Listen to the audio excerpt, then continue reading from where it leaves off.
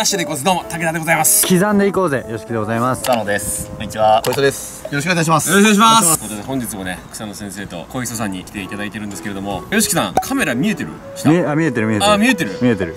このシューズといえばこのお二人をお呼びしないと始まらないなというところであるんですけれどもなんと今回新しく発売する Windows Print 3です。かはい。そうです。に関するシューズのレビューと紹介をこのお二人の知恵を交えながらお話ししていきたいなと思います、ということでもう僕はこれ以上多分今日話すことないですね。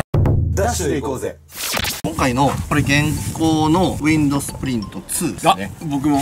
あありがとうございます。じゃじゃーん。20年からこの材質 HL ゼロメッシュに変わってとかっていうのが登場して約2年っていうところになってきましたっていうところがありますが今回が2から3に大幅にリニューアルをしていこうというところになってきます。今回まあ一番大きく変わったポイントで言いますとまず一番最初に分かりやすいのがミッドソールの厚み。僕からしたらちょっと分かりづらいな。厳密に言うと16.5ミリ。今回がもうほんと約ルール規定ギリギリ20ミリ以内。クッション性とかライド感っていうところを少し改善したいというところがありまして長時間履くとなかなか足の負担っていうところもあると思いますのでこの白い部分のミッドソール材も若干柔らかいものにしております、はい。でもでも言うても Windows Print のその設置感っていうのは維持したいというところがありますのでまあそんなになんかぐにゃぐにゃではないんですけども、厚みがある分のそのコントロールがまあしやすさ操作性というところを考えて少し柔らかくしております。なるほど。こんな感じは見えるかな。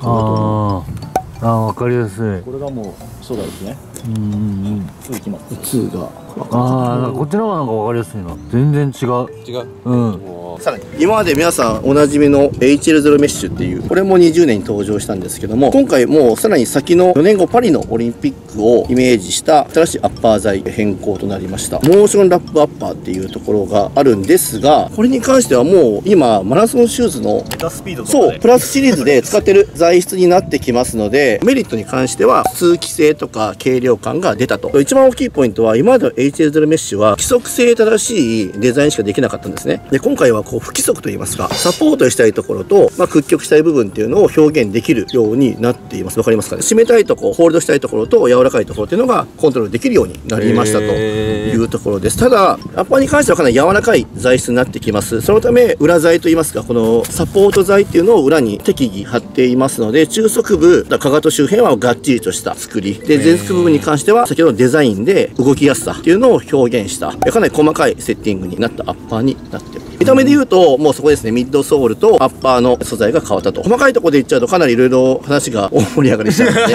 あの、履き心地をテストしながら、またコメントをしたいと思ってます。なるほどはい。ダッシュでいこうぜちょっと見てほしい。上から見えますかねよしき君？はい。これが僕があの原始時代に入ってた Windows Print 初代のものなんですけど。確かにこうやって並べて上から見ると3が一番こう分厚いのが分かりますね。幅の裏側の材質もつぶつぶもね若干大きくしてるんですよ2で。それは気づかなかったっす。2の方が若干こう光が良くなってるんですよね。だから1に比べると2の方が走りやすいと言いますか引っかかりやすくなってるんで。確かにここの溝のスペースがちょっと大きいんですね、若干大きくしてる角で分かります？六角で見るとちょっとこっちは詰まってる。あ本当だ。これ気づかなかっ終端 ですよね。足の甲を押さえるとこなんですけど紐がやっぱ上からギュッと押さえると圧迫して痛いと。俺ちょっと痛かったかも。あった、はい。そうそう。っていうのがあるのでクッションを入れて当たりを和らげるっていうのがここに。うん。今回からですか？そう今回から。ええ足当たりよくしてる。これ嬉しいんですよね意外と。クッションしてくれるからちょっと硬めの紐が使えるんですよね、うんうん、そうなんですよ。で、それで、おっしゃる通りで、パワーホールドシューレースが良くも悪くもすごい締まっていくんですよ。そこの圧力っていうのは、この終端っていうのがうまくコントロールしてくれるんですけども、今回はクッション材のところに紐締めといいますか、痛みが出ないような作りっていうのを今回表現してると。えこれ履いていいですかあもちろんもちろん。早速ぜひぜひ。いやもうめっちゃ楽しみありがとうございますちなみに今回のこのニューカラーの名前は何パフォーマンスレッドっていうパフォーマンス。カラーの名前がありまして、ブダペストの世界陸上でもこちらマーケティングカラーになっていきます。これレッドなんですね。レッド。草野先生のこのアシックスのバンズあれですもんね。パフォーマンスブラックですもんね。あこれパフォーマンスブラック ブラックでええやん。こですよね指のあそうですそうですそうです。この辺がよくこう破れてしまったっていう声もあったと思うんですけども実はこの黄色いモデルからちょっとこう触ると分かるんですけどちょっと破れにくくなってるんですよね。裏から補強が入って、はい。親指が内側から当たっちゃって穴開けちゃうっていうことがあったので裏材で一応ちょっと分かりにくいですけどもここのカラーが違う部分は裏材で補強をしていました。今回の3に関してはモーシャープラッパーのところのあの縫い目っていうのを少し三つ編みにしてコントロールをしてるという細かい設定にしています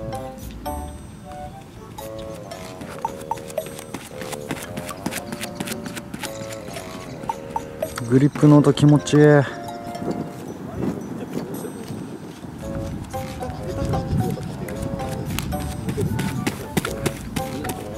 最高です。ちょっと走りに特化したみたいなお話が多分あったと思うんですけど今走った時に乗りやすいですね。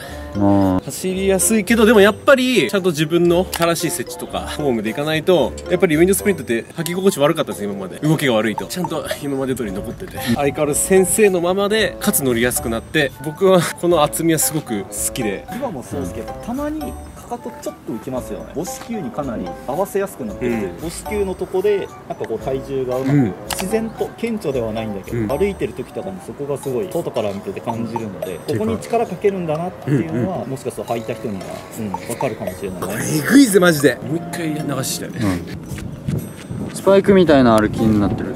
素足感で多分何のサポートもないっていうのが一つテーマだとすると今回は少しうんうんうん走りやすさ母子球にかかりやすいっていううんのはうんうん。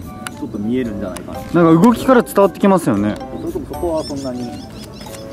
なんかありそうな動きしてんだよな。ミートソール材がやっぱり厚くなった分多少は出てるとは思う。んでも本当に多少の話なんで、まあ竹谷さんの進化かもしれないです。ねそうですね、うん。あいつ絶好調なタイがあるんだやっぱ薄いからこそやっぱダイレクトにうん。反発が取れるっていうのを感じられる、想像以上でした。想像以上これは。すげえ。めっちゃいい。俺も剥がしてよ。あすいません。めちゃくちゃいいですねフィット感に関しては結構僕も歴代一番だと思いますもう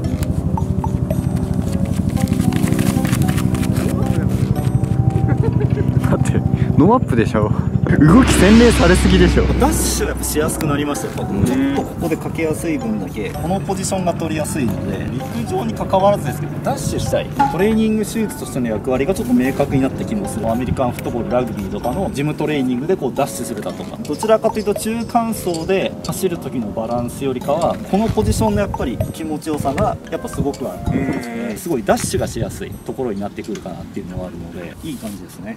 いい感じですねダッシュでいこうぜ。さあ YOSHIKI さんも履きますよ。小石さん。はい。これいつ発売なんですか？これははい。8月、8月。8月。しかも夏休みの期間なんで。2023の8月。そうです。これ今2022年の11月です。まだまだ。まだまだ。え時計いる？どんぐらいのペースか確認したいんだろうな。動きいいな。靴に追従性良くなったからおおいいねいい動き。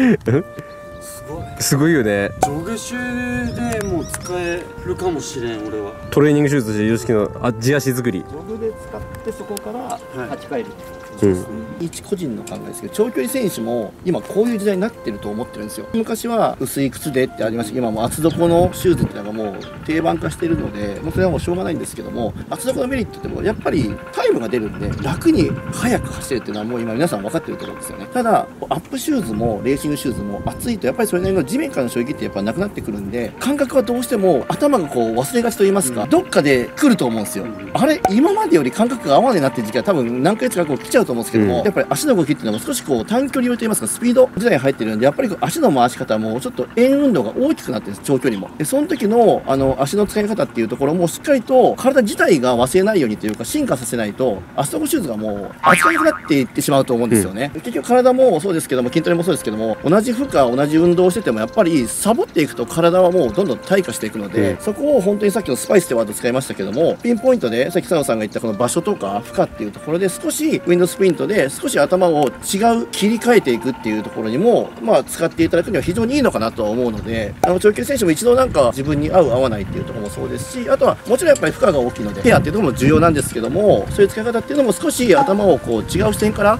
あの体を見てもらってもいいのかなと思います。あー出た。鳥肌です。ね。僕いいシューズ履体に現れてから毎回鳥肌立つ。その体質開発に必要ですあり一日ありがとうございました。がとうございました。それではまた次回の動画でお会いしましょう。バイバイ。ありがとうございました。最後までご視聴ありがとうございました。それでは皆さんまたのご機会に。さようなら。あこっちだ